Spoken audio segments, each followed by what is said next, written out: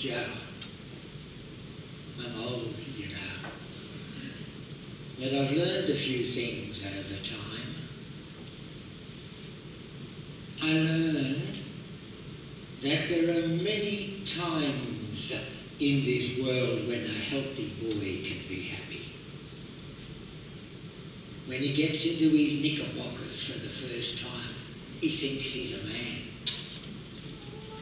When the sandy blight or the measles breaks out amongst the kids, or, or when the teacher or, or his wife falls ill or even dies, it doesn't matter. There's no school, and he's happy. When his father buys him a gun, and he goes after kangaroos and possums. When a boy has his arm in splints stitch in his head, he's got a good reason to be proud. That's the way it is. And Now, there are times when a man is happy.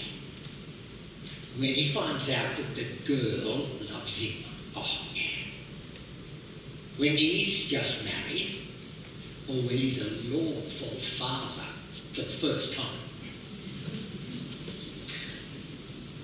I think the happiest time in a man's life is when he's courting a girl and he finds out for sure that she loves him and hasn't a thought for anyone else.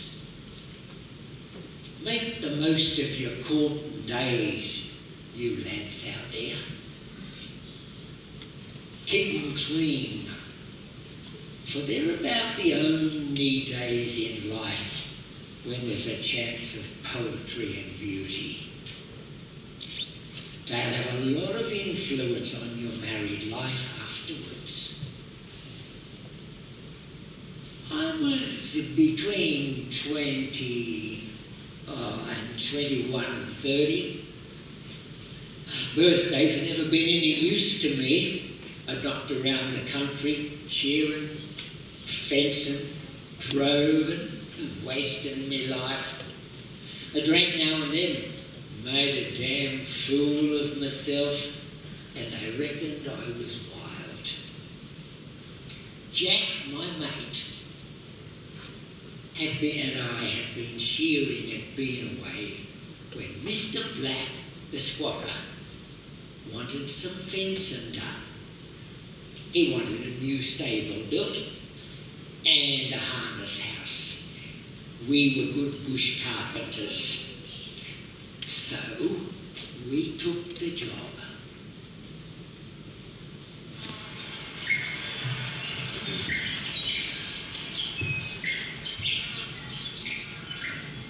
Yeah, I was feeling doing nothing, and there's a nice little girl, Wax. She's all like an adopted son, uh, son of a daughter, my daughter, adopted son. You probably even better way to explain it. She's a regular duckling. They call her Possum. You ought to be up in that direction, Joe. You let me alone and I'll fix you up. You're a good-looking chap, and you've the sort of eyes that take with the girls. Now, you don't know. Oh, for God's sake, shut up, Jack. You're alone? Oh,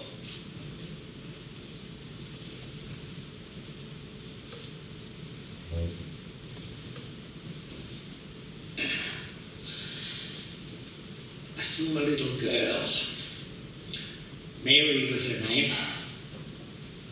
She was rather plump, but she had the brightest eyes, as bright as a possum's. I noticed she glanced over at my direction. She was the prettiest girl in the whole district. Morning, Jack. Ready for the job then? Yeah, sure, Mr. Black. Uh, this is Joe, and uh, we'll make a start and all that. That's all right. No worries. Mr. M- Mr. Wilson, I thought you and Mr. Barnes would like a cup of tea. Oh, are, are you all right? Did you hurt yourself? Hurt? Nah. Oh, not at all, thank you. Would take more than that to hurt me.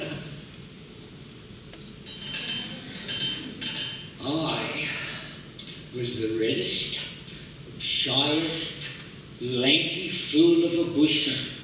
When I took the train, my hands shook so much that I spilt the tea. I think I embarrassed her too. And then she turned as red as I was.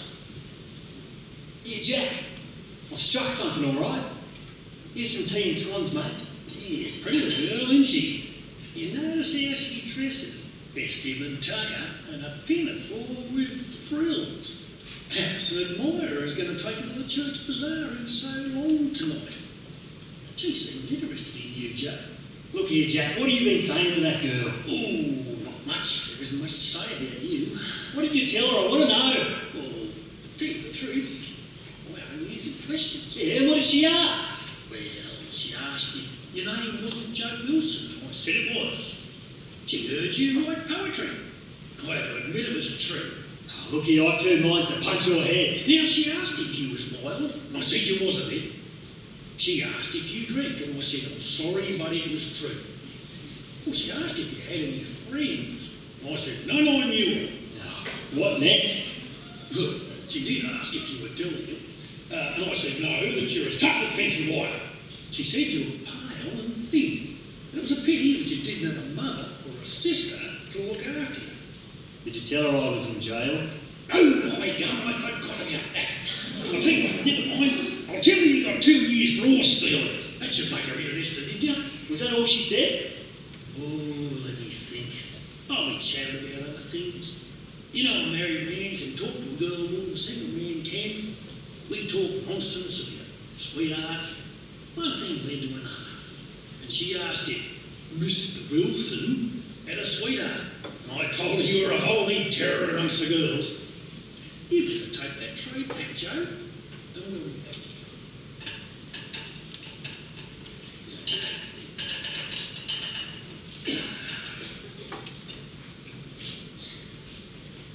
I didn't see Mary again for a while. I reckon she was a big-hearted, impulsive little thing, as many Aussie girls are, you know.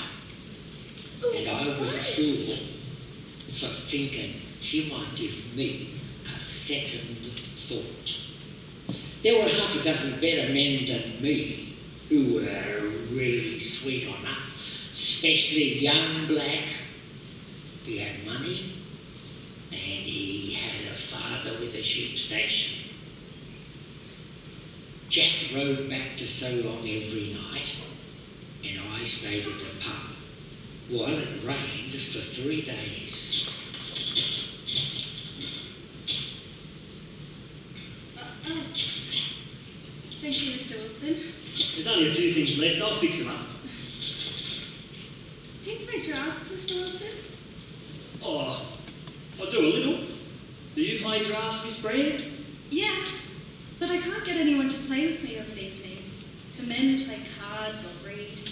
It's very dull these long winter evenings.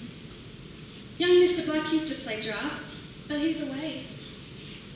Oh, I'll play a game with you, but I, I ain't much a player. Perhaps I could teach you.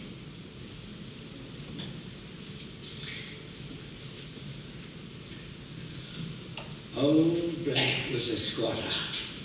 He was old school. He shared hardships, you know. Next day,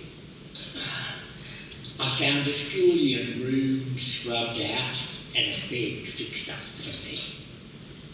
Then there came a table with a crocheted cloth on it and a looking glass. I suppose Black gave one of the women the hint. Mary and I talked about our childhoods and how we grew up without parents. They died when we were both young. We got very chubby, and the other girls giggled when I was around.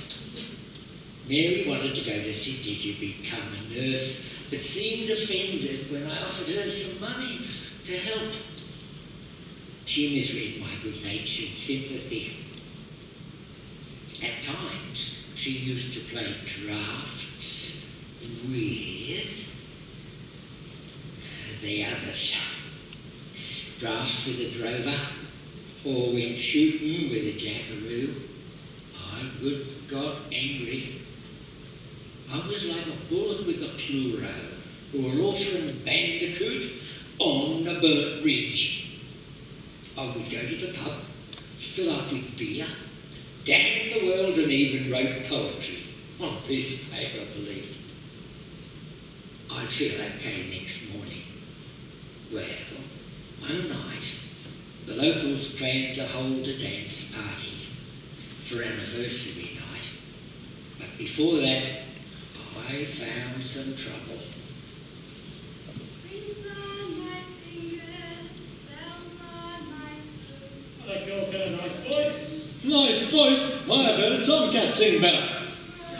Stuck in that girl, Romany. Ah, she tried it on. I've met her sort before. She's setting her cap on that jackaroo. She'd run after anything with pants on.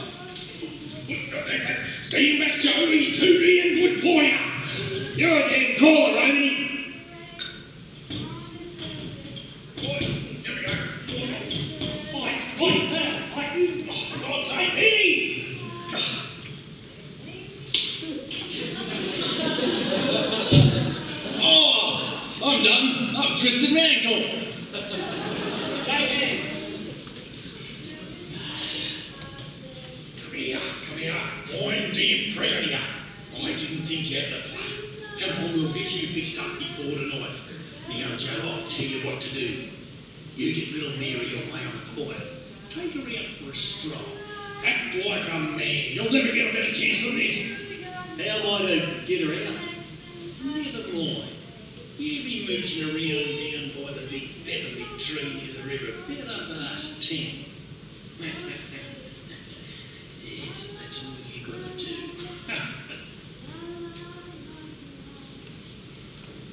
Jack was as proud as a dog with a tin tail as he fussed around me and fixed up my face. We went back to work to get the shed ready for the dance. I kept out of sight.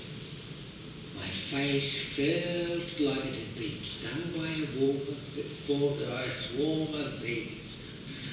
I felt the reaction pretty bad. I really thought it was a low, brutal business all round. Is that you, Mr. Wilson? Yeah. Is that you, Mary? Did I frighten you? Nah. Yeah, just a little. Why aren't you dancing? Oh, I'm tired and it's hot in the watershed. It must be very dull for you, Mr. Wilson. You must feel very lonely. Mr. Barnes said, oh, oh, how beautiful the moonlight looks in the willows. Yeah, doesn't it? Suppose we have a uh, stroll by the river? Oh, thank you, Mr. Wilson. I'd like that very much. I suppose you know I'm going away next month. No, I didn't know that. I thought you knew I'm going to be trained. And if that doesn't work, I'll get a place as, a, as assistant public school teacher. Oh, I suppose you won't be sorry to go. Oh, I don't know. Everyone's been so kind to me. Yes, Mr. Wilson, I suppose I will fret for a while. It's been my home, you know. Oh well, I'll be on the wallaby again. Will you, Mr. Wilson? Don't you think it's time to go? Oh, there's plenty of time. Mary, Yes. call me Joe. I, I- I don't like to. It wouldn't be right. What is it, Mary? Ain't you well? Ain't you happy? Kiss me, Mary. I, I don't like to. Why not, Mary? Why won't you kiss me? Be- Because I don't think it right for a girl to kiss a man unless she's going to be his wife. Would you marry a chap like me?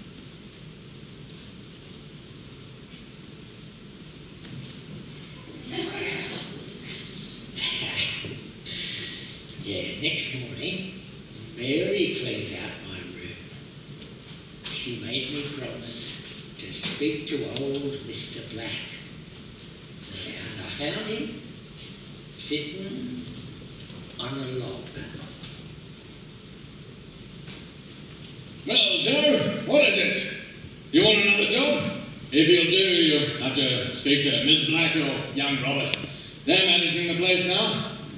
Now, boss, I, uh, well, the fact is, I, I want little Mary. What do you say, boss? Oh, nothing, Joe. I was going to say a lot, but it wouldn't be any use. My father used to say a lot before I was married.